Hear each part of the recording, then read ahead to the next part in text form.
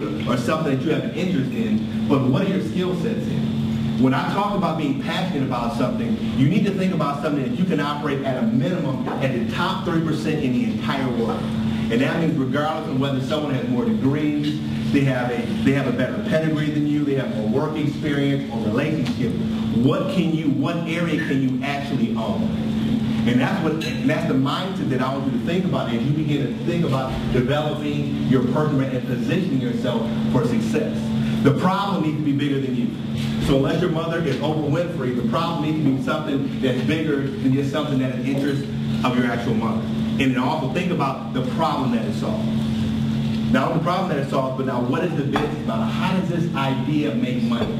What are the revenue streams for the idea so that that idea can make money? Bill Gates makes $7,053, I think, a minute, if I look at that correctly.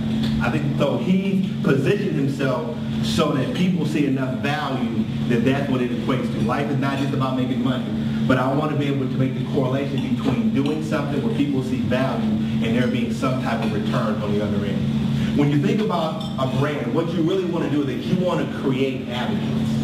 You want to get people who are so excited about what you do that they're going out and they're sharing and they're communicating that with their communities. So when you think about brands, some of the things that that really um, demonstrate how uh, how how excited people are about the product and service and the things that you do is that say for instance if you're a musician or if you have or if you are an author they could download your book as an ebook right they could go purchase products whether you are in a physical location or if there's something that's online they can share the ideas with their community, right? They can help to spread the ideas that you actually have without you having to force them to be able to do it. They could also occupy a space in your co-working facility, right? Because again, you might have a location where you're trying to bring businesses in. So this is a way that you can see that people are really interested or companies are interested in the services or the things that you actually do. They're willing to pay a premium for the for the services that you offer. See, at the end of the day, if you're just a commodity, then you're battling other companies based on price. But when you're in a position where people are willing to pay a premium because they see enough value in what you do, there's nothing like being an entrepreneur and being, I mean, and seeing and seeing people purchase product that you make or purchase the service.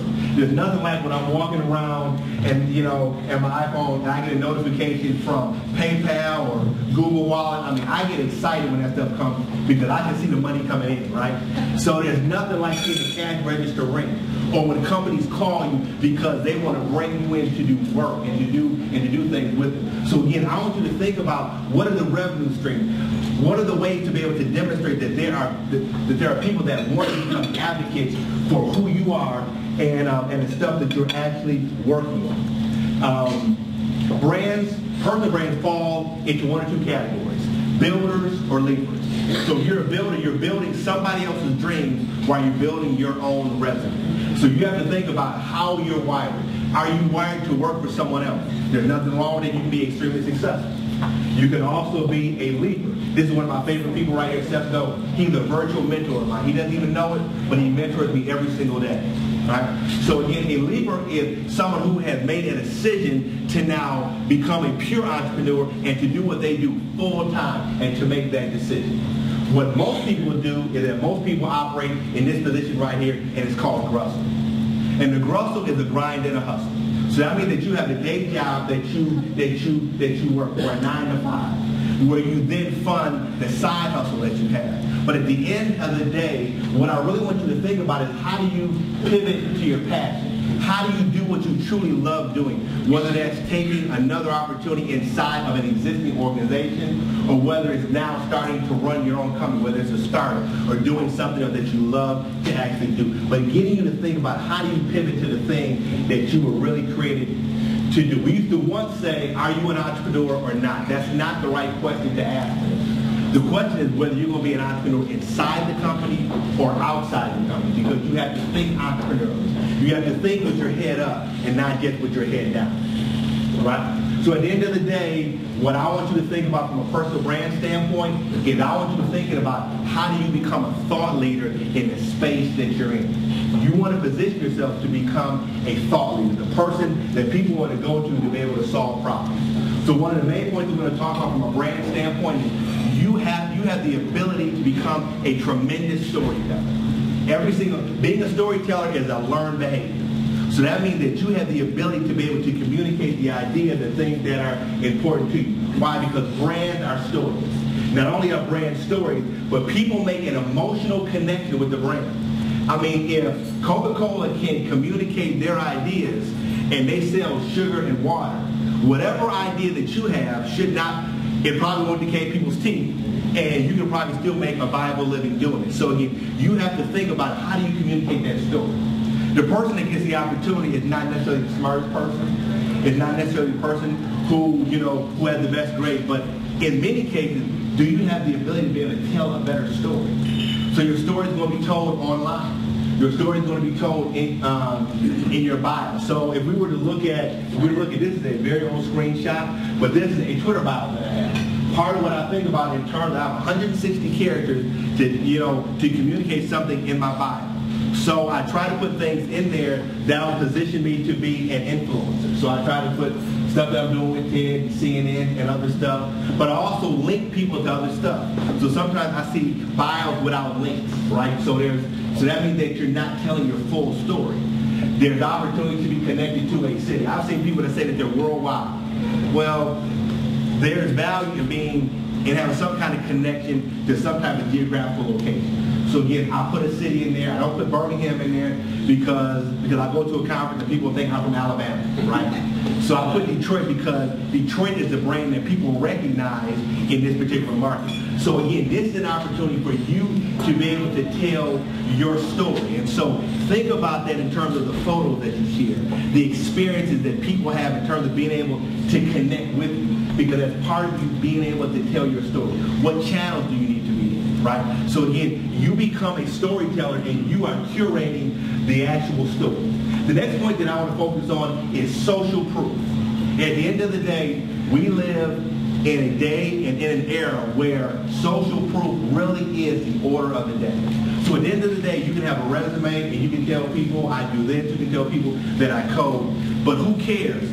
People want to look at what have you actually done. So we're going to look at a gentleman, and his name is Frank Chimero. He is a designer based in Brooklyn, New York. So now he came out with the book that's called The Shape of Design. The Shape of Design. So now if I was a publisher and I was looking for great authors or someone that I could bring in, Frank would be an individual that I would look at. And so we're going to look at a screenshot from his from his uh, Kickstarter page. His goal was to raise $27,000. Frank raised over $112,000 for that book. So what that tells me also is that he had 2,109 people back the idea. Now, I guarantee you Frank does not know 2,109 people that he's physically met in the real world that are his friends. So it, so it communicates that he's able to galvanize a community. It also communicates this, that he's able to market his idea. He's able to do some things to be able to get people behind the idea and raise a hundred. And I don't care what book you pick. He actually printed, the book did not cost $112,000. I don't care if it had gold pages and I mean, the book didn't cost $112,000. So I think Frank made a nice little cut after he did the book, right?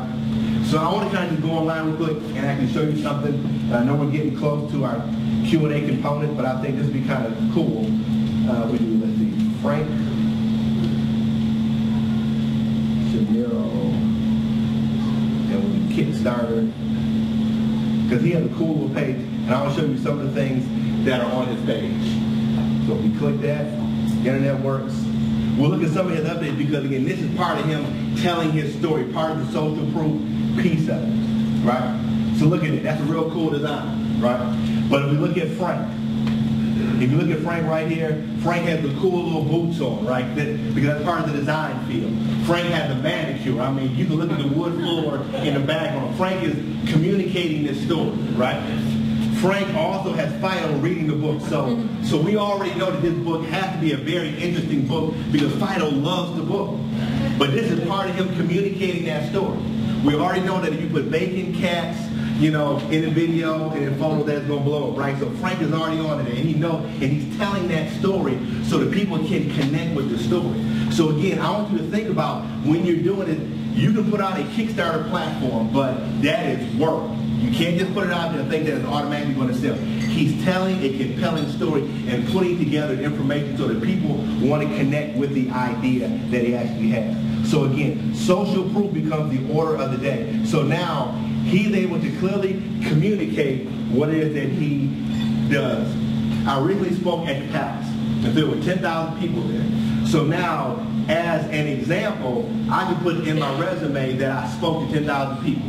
That doesn't necessarily mean anything, right? I mean, I could be lying. They, you know, they might have to have some way to be able to validate it. So looking at some other ways that now shows social proof. Now we have the photos that we're working on with me speaking and tweeting from the stage where I'm communicating that that was me and I'm, and I'm sharing that experience. So part of what I want you to think about, how do you create social proof in terms of the stuff that you actually do? And to run through these quick points so we can then open up the floor for Q&A. From a brand standpoint, I want you to think about three things. Location, location, location. So the first thing is I want you to think about how do you own mental real estate? How do you become the only solution in the mind of your end customer? So when they need opportunity, when they need you, or they need to work with someone who has the, um, the skill set that you have or the organization that you bring to the table, that you become the solution in the mind of that particular customer. Next, digital real estate. You have to think about owning digital real estate. Think about what what does your digital footprint look like, right? So when people go to find you, it clearly communicates exactly what it is that you want people to find out about. You need to be optimized to mobile. You need to be consistent in terms of all the channels that you're at online. The third thing is geographical real estate. You want to be the solution in your local market. Lots of times people want to be able to connect with major media outlets that are national, but what they look for is that they look for local stores. And I'll give you a quick example as I close. So I tend to do some stuff with CNN, you know, so we were part of an accelerator.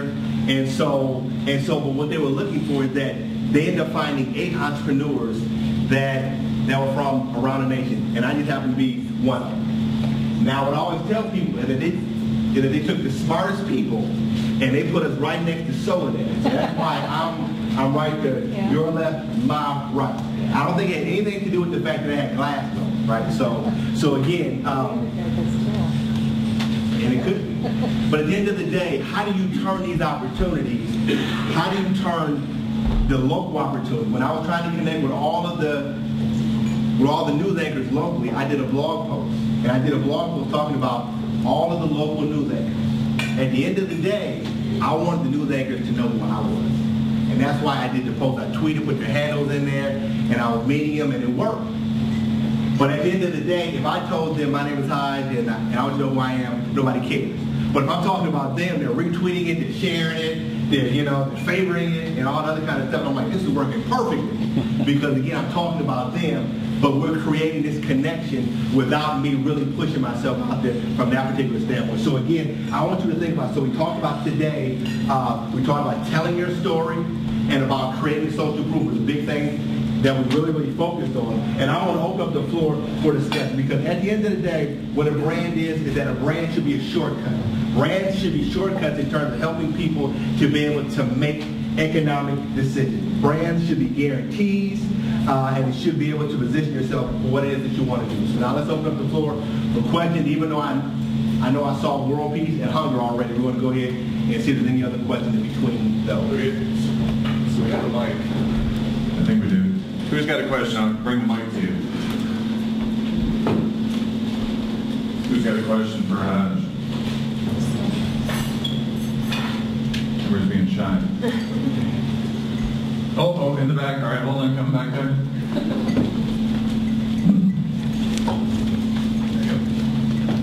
Hey, um, you talked about getting one idea that you're passionate about. What if you have the opposite problem where you have too many ideas, So what if you have multiple ideas? Most people have more than one idea, right? Um, I know I have multiple ideas and I get on my wife's nerves because every day, because I'm a, I'm a visionary, so I have multiple things I want to work on. What I believe becomes important is that, is that, is that you have to be known for something and you have to be anchored to something specific. And I think that once you're successful doing that, it gives you the ability to be able to leverage that for other stuff. So I'll use an example. So Jay-Z started out doing music. So Jay-Z is married to Beyonce, right? So I, mean, I don't know whether that's his claim to fame or not. But he started out in music. So that has went on over into apparel, ownership with the Nets, which he's divesting in currently, and now and now he's becoming a sports agent, and he's in the process of signing Kevin Durant, Skylar Diggins, and all these other things. But he started out in music, so music was his linchpin. That was the main thing that he started with, and now he's been able to leverage that into other stuff. So I believe that you need to start with something specific, and, and also you need to think about, you don't want to confuse people. I've met people that have come up to me with a business card where they were a, they cut hair, they did website design, they did lawn, they were photographers. I was like, really? You do all that stuff? So that let me know that that individual wasn't good at anything. So I on something first and then, um, um, and then, and then leverage that for other stuff. Great. Next question. Hi, I'm aware that you don't build a brand by yourself. Could you talk a little bit about maybe how you use others or get out testimonials or others to help you build your brand? That's a great question. Personal brands, in my personal opinion, are not scalable, right? So, so that means that you know you get to a point to where you're trading dollars for hours, and there, and we all have a defined amount of hours in the day. So when you think about scaling a company or scaling it beyond just you, you now have to think about what are what are some of the ways that I'm going to be able to do that. So some things is that is that over time I've been able to develop good relationships with people where I've been able to outsource certain certain certain skill sets or certain services. But also over time building those relationships with companies so that now it creates more opportunity for future stuff. So say for instance, when we do conferences, there's certain sponsors that we have. Those sponsors allow us to then be able to leverage those sponsors to be able to get other sponsorship.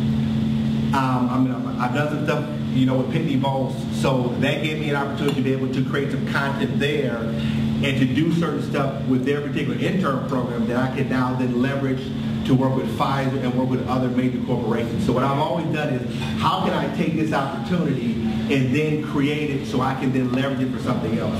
When I was working on commencement for OCC, they had a rule out that no student could bring a cell phone to the palace who was graduating. I said, that's crazy. I said, this is an opportunity, it's a brand opportunity. So then I began to work on how I could then take that so I could now leverage that so we could show the social capital that comes from that so I can use that for another opportunity. So every time you do something, it's an opportunity to be able to take that and then to repackage it or repurpose it to be able to create other opportunity. And in a relationship that you develop from there, whether it's getting testimonials, whether it's getting letters, whether it's being able to put those logos on your website, can be ways that you can then leverage it so you can grow um, and also change the perception that people have of whatever it is that you actually do. And I'll go to another website as we as we get the next question. I know we have about six minutes. I want to I want to actually show you something while we're there. Okay. Hi, thanks for being here. Um, great stuff. I have a question. Uh, in branding yourself, what would you say your brand guarantee is?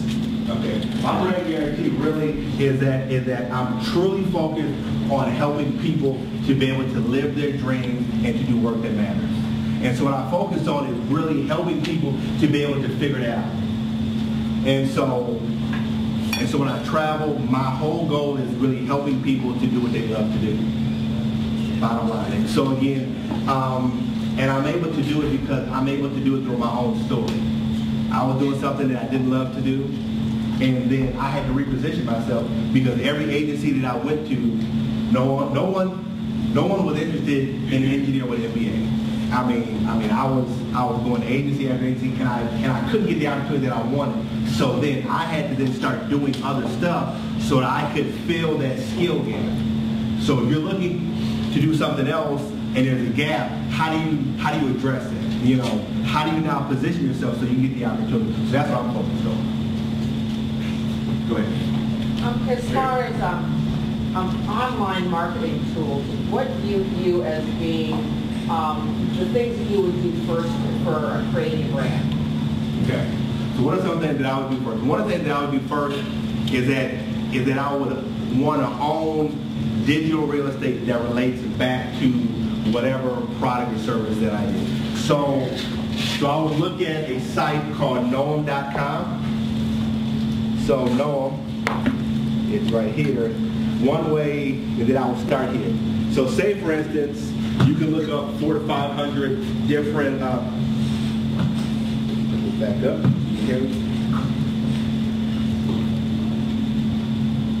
So you can look up four to five hundred different um, social network URLs. You can look up .com. So I would want to own the digital real estate for whatever it is that I was looking to go out there and actually bring. That would that would be one of the first things I do. I would want to own the conversation, right? Because again, you can own certain .com, but someone else can own that conversation online. And then what I would want to do is I would I would really want to be consistent in terms of being in a certain space, and I would want to do certain things to to create credibility for myself, whether it's write a book or do other things. One thing that I did was write a book, right? So again, you want to do things that are going to create credibility for you in that particular space or in that particular vertical. So those are a couple of small, quick points. Hey, Hajj, um, I don't know if you saw the article in GQ yesterday about Instagram and sharing, where it talks about, I think you touched on it, how people always share glamorous things. So they share when they're sitting by the pool, or they share these fancy cocktails, but then the other six nights of the week they're sitting home with a six-pack watching Family Guy. And, and it talks about how people are under-sharing. So they only share these things that look like they're partying and vacationing. How do, how do you deal with that? How do you kind of let people in, show them a little bit of the true story, and then a little bit of the image that you want to convey? How do you mix that? Well, I think you have to be human. As a matter of fact, we'll go to my Instagram page. So, so we'll go here so you can, you can see. Um, but I think people people have a radar garbage, right? You know, so they know that you're not doing business 24 hours a day. They know that you have a human side to who you are. And I think that when, you know, you're able to let your hair down, if you have hair, right, you know, where you can, where you can still show interesting stuff. So this is me on the swing. I don't think it actually blows up. But I'm looking crazy on the swing with my daughter. But I mean, but I thought that was just a cool picture. We're out at the park and we're having fun. So again, it shows that I'm not out making a billion dollars speaking, you know, at this great event. I'm a family person too. So again, part of what I think is important is that people want to be able to connect with you and know that you are real. And so again, there are ways to do it without being overly transparent and show things that would maybe discredit your brand. So again, think about things that, that show a work-life balance and also things that you're going to be able to feel comfortable with that you won't have to then try to try to come back and have to compensate for because maybe it communicates something that's negative. You'll never see me put up stuff that, you know, that's going to be uh, character-driven stuff that could that could undermine my brand. We have time for one more, one last question. What's your favorite Seth Godin book? My favorite Seth Godin book is uh, Linchpin. Linchpin. I mean, uh, he, you know, that is um, that book to me is, a tremendous book. But my favorite favorite book and my favorite author um, is Malcolm Gladwell. Um, so, so my favorite book that he has is uh, is Outliers. Um, he talks about the 10,000 hours in there. Um, so he's my favorite author. Seth Godin is is, uh, is my favorite person that I follow online because he breaks every single rule, does what he loves to do, and he's created what he calls scarcity. So now he's positioning himself so that he can do the stuff that he wants to work on. Seth is not going to get on the plane and just fly somewhere just because just because there's an event because he doesn't need to do that. And again, that's the position that I would do. Awesome. Well, let's give Hajj Flemings a big round of applause.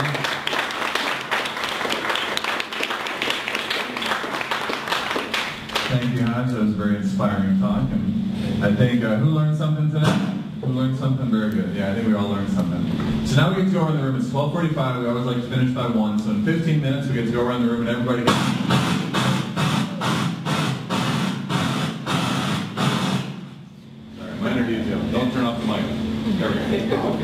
you put it in hold. I didn't mention that to you. Oh, okay. I Sorry. Turn it We over. haven't had that in a while. We haven't had that in a while. Yeah, the sound system's a little glitchy. No, no, yeah, you just turn on the mic. Turn the, turn this back on. might do the same thing. No, it wasn't a problem. He turned it off, which causes the feedback. Test, test, test. Mic back on. The handheld we need. Test, test, test. Hello, hello, hello. We need mic power. There we go. Thank you very much. Thank you. All right, so now we're going to go out of the room in 15 minutes and introduce ourselves. Um, briefly, who you are, your company, and if you're looking for anything, and keep it short, then we'll, we ask you also stand up when you introduce yourself. We'll start with Colin in front. Hi, Colin Thomas, uh, marketing for Unlock Media Group, which includes unlock.com and AnnArbor.com. Kate Laura Smith in the Circle, Canton, Circle, Washington County, your 24-hour fire and remediation specialist. Just want to remind you, the storm's coming in today, make sure you have some pump coverage if you have a basement. If you're not sure, talk to your insurance agent, they can help you out. I'm Laura Kirschner with Genex Solution Marketing, and we help businesses realize their goals using online techniques. Uh, my name is Brian Clark. I'm the founder of my own startup, uh, Silica.io, delivering mobile testing and development platforms. Leanne Miller, a manufacturer sales representative for Knoll Office Furniture, and we help create uh, creative, dynamic, and interior spaces.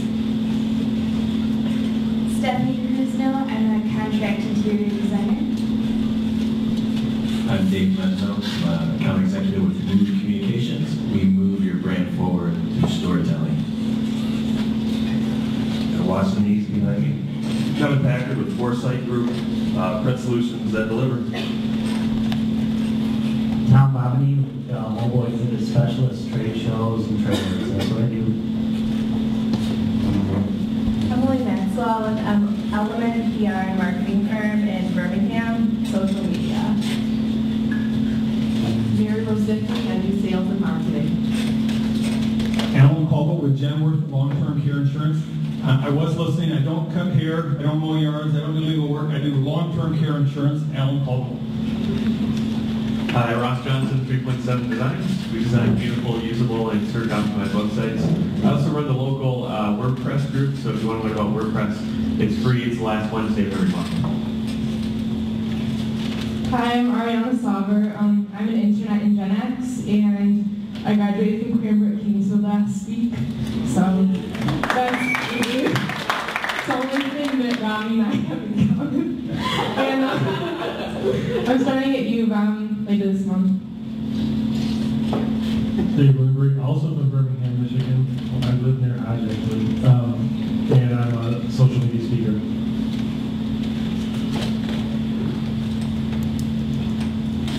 I'm Linda Klein. I guess I'm a visionary because I do many things. My son 17 owns four businesses. I am his marketing director for all four. In addition, I'm a healthcare provider.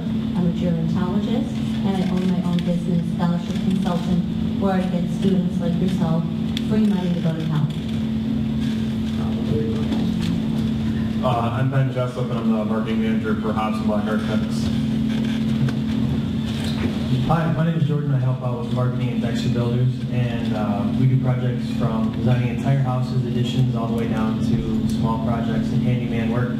And uh, also here to uh, plug uh, the Rotary Club's uh, raffle of a house, or a playhouse that we help them build. We do that for over 10 years. Um, if anybody's interested, it's stationed uh, right out in front of Busch's in Dexter. Uh, you can buy tickets uh, five dollars or five tickets for twenty dollars if anybody wants to try to win it. Uh, the proceeds go to uh, the local Dexter community and uh, different scholarships for the students and uh, other things that are on it. So if anybody wants to take a look or has any questions, come talk to me. Hello, I'm Jessica Morrow. I'm an intern at Ingenex this summer, and I'm going to be graduating from Michigan State in August, and I'm studying advertising management. Currently on the job hunt. If you want to come talk to me later, that'd be great. Hi, I'm Stephanie Herr. I'm uh, an intern at Ingenex as well, and I'm graduating in December from U of M, and I'm studying communications and Hi, I'm Rachel Keaton. I'm also an intern at Ingenex. I'm a senior advertising major, interested in digital media and strategy. And I guess I'm going to have to talk to you to figure out how to get that free college money. Hi, I'm Brian Lorenz. I am a uh, marketing major at Eastern, not an intern at Gen X. uh, I'm doing some work with some nonprofit organizations, and uh, in about a year I'll be graduating and looking for some marketing work. Hi, I'm Tasha Moore with Martopia, which is a marketing and public relations firm that uh, really helps companies gain strategic distinction. I'm Tori Rexford. I do community outreach in Governor Snyder's office, and we recently just announced the Do Something Michigan campaign, trying to get people more active in the local communities and promoting all the positive things that are going on on a local level. Hi, I'm Christian Ward. I'm head of dealer and consumer education with On, the Swiss running shoe company. Hi, I'm Kathy Szynski, and I do several things in marketing. Um, first, I work with uh, students at uh, the University of Michigan, the Michigan Daily, Michigan Enzian, and Gargoyle on their sales and marketing efforts, and I also teach in the IMC program, online program at Eastern. I am uh, Jim Campbell from ExcitingProductions.com, and uh, video customer testimonials can be a very powerful way to tell your story. And I invite you to see how we've helped many people uh, tell their video customer testimony on our website and YouTube channel, ExcitingProductions.com. Hi, I'm Caroline. Um, I'm graduating in December from the University of Michigan in uh, communications and sociology, and right now I'm just checking out marketing this summer. My name is Justin Gibson. Uh, I help run Sandler Training in Ann Arbor. We do sales training, and coaching, uh, but we're starting up a, a program in July for um, customer service individuals, and so uh, it'll help customer service individuals who are struggling with the skills to cross-sell and upsell, or um, who are also struggling with the, the soft skills that it takes to uh, to deal with difficult customers and so forth. I'm Bud Gibson. I created the search marketing program at Eastern Michigan University. Our students have worked with over 90 local nonprofits, helping them develop their pay-per-click advertising campaigns. This summer, my focus is on helping them develop their personal brands as they go out to marketplace and try and sell themselves. Need help with your digital marketing? Come talk to us. I'm Mike Creech. I'm the webmaster at Internet Tube. I'm Roger Rayle. I'm a venture catalyst, uh, help uh, with the video here and several other uh, meetup groups around. Um, our, uh, I started this video interest group uh, back in January, so our June meeting is tonight at Cubs AC, 6.30. Anybody interested in video or needing video services in any way? Um, this Friday's the Green Fair down right here on Main Street in Washington and Liberty. Uh, so I'll have a booth down here talking about a local groundwater contamination. And it's also the uh, first night of Summerfest. You know, Summerfest for you that don't know, it's uh, it's like three weeks of fun and music and movies.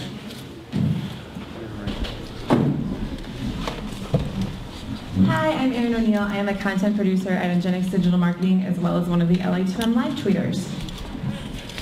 Hi, I'm Lauren Schneider. I too am one of the LA2M live tweeters and also a social media coordinator at Ingenex. Hello there. Um, I'm Ashley. I'm a content producer at Ingenex, um, also a resident cuttlefish. Hi, I'm uh, Mary Lou. I'm uh, the LA2M manager. Thanks everyone for coming out. Really appreciate that. Um, and just uh, to reiterate about the sponsorship, we also uh, publish a couple of newsletters during the summertime. So if you're thinking it's too late for June, it really is not because we can include you in, in our summer publications. We are already sold out for sponsorships for September, October, and November. So we, these people really do see a value in these. Um, and also, uh, we're planning our schedule for fall for speakers. So if uh, if you know someone that you'd like to recommend as a speaker, we would like to hear from you. Thanks. Hello, my name is Sandy Sayre, and I would say um, a recovering educator probably right now. Um, I'm also a mediator, uh, and I'm in the process of rebranding myself as at this time of my life. Hi, my name is Sue Shoemaker, and I think I came the furthest. I came from Brown City, Michigan this morning, which is up in the Thumb area. I live on a farm. I also am an educator who is going through the process of rebranding. I am a certified tour director, so I get paid to travel, which is kind of fun now since I spent 38 and a half years in the same middle school um, and survived. Um, but anyway, uh, really enjoyed the presentation today. Thank you. Hi, I'm Carter Sherlin from Prince Studios. I'm a commercial editorial and portrait photographer. Uh, I guess as Sam, known for shooting run-ins of Brad Dexter Ann Arbor, or one of any races the last few weeks. You probably saw me kiss the other way looking at you. Maybe with a video camera and a scope camera, in each hand. Uh, I'm doing a lot of that lately. Um, and uh, pictures of these meetings go up on the group's Facebook page. Thank you, Carter. And my name is Derek, CEO of Ingenex Digital Marketing. We have a lot of incredible interns and people that come from our company who are incredible too. And uh, I'm not sure what a cuttlefish is, but it sounds Oh, they're positive. awesome. Everyone YouTube cuttlefish. There's D's instead of T's. Okay, cuttlefish with D's. Okay, everybody YouTube that. We can tweet about it later. But um, yeah, we're a full service digital marketing agency, so we do web design, we do social media, and paid search and search optimization. So, um, and you from Eastern, you- it's not too late for an internship if you want one. Kidding, you said you weren't an intern yet. But um, anyway, so thanks for coming. Wow, what a, what a great talk. I mean, I really, I love today's talk. You know, you can tell that Hajj has gone out and spoken to 10,000 people because he's a great natural speaker. So let's give him one last round of applause. Uh, you can come up and talk to him afterwards, get your picture with him. It, it, it- this picture, it's like it's like I want to be like Mike. I think he's a really good role model. I love I love his imagery, and I guess it's mostly him, so I don't know what that means. But he's, he's photogenic. But um, next week, next week, I guess I'm kind of speaking. Well, it's an open forum, so next week is going to be all about marketing a startup. So if you have a startup business, if you know anyone with a startup business, I'm going to kind of lead a discussion on open forum and how to market startups. That could be web app, it could be a virtual company, it could be a real company. So it'll be an interactive forum. I've done a really good job of getting everyone to interact. Hopefully we can do that next week as well. And I think we'll learn a lot as opposed to a regular structured presentation. It was Mary Lou's idea. She's a great uh, idea person. And she's our LA2M manager, so she does a lot of the hard work here, and that's one of the things that we cover with our um, passing the basket. So anyways, you guys go out, have a great week, go make some money, and uh, bring a friend next week. It's going to be a great time. So thanks for coming. See you later.